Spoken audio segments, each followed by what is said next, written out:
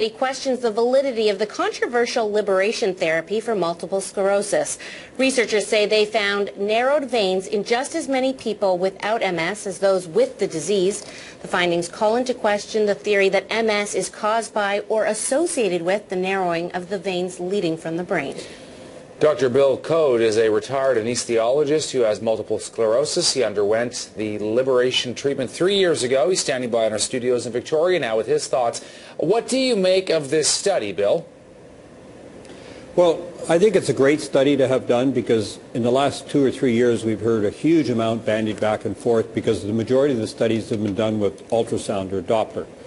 And of course this study on the so-called gold standard of dye injection into the vein and then taking x-rays of it, which we've done for years to look at blood vessels, has shown that there's many more narrowings of the veins than we anticipated with the Doppler or ultrasound. In fact, as you said, it's roughly two-thirds in so-called normals, siblings of MS patients, and MS patients. They're not dissimilar.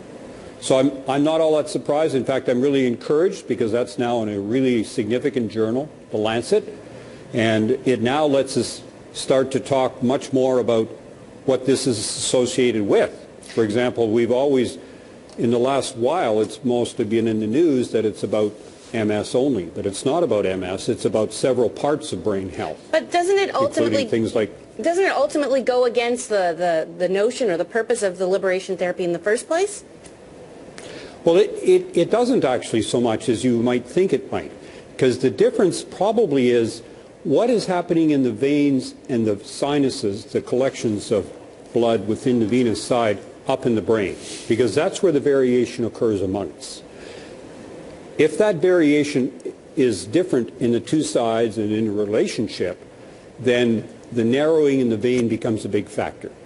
But if you have very good crossover for both sides within the brain, then the narrowing is not near the crisis. And so that's why we now are starting to appreciate, and there's items in the literature talking about it in migraine headache, Parkinson's, and even traumatic brain injury, especially those folks that don't recover. So we've now broadened the lens, and the study has helped us do that. So it would be very interesting to talk to the folks that were so-called normal, but have narrowings, and watch them now, over the next one or two decades, do they fit into any of those categories? Migraine headache, Parkinson's, hmm. traumatic brain injury, and so on. Bill, let me just jump in and ask you uh, your advice to people who are considering uh, getting this therapy. You have MS like you do, uh, who went for this therapy, you went for it. What would your advice be? They're looking at this study, they're saying, oh, well, maybe I shouldn't do this. Well, you know, it's really important to get good oxygen flow to the brain.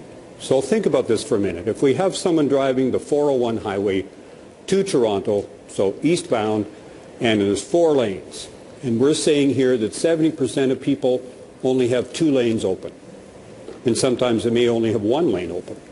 So there's a great slowing of the flow of traffic in that case, but its analogy is slowing of the blood flow. So well, you can get the cars in all those little by roads outside the 401, but they're not going to travel near as quickly. So consequently, you're going to have in some people parts of the brain without enough blood flow and therefore not quite enough oxygen.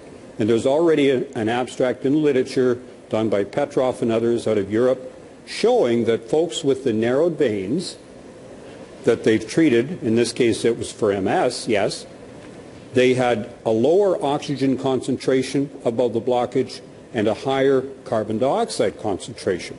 That completely normalized when you opened up the vein.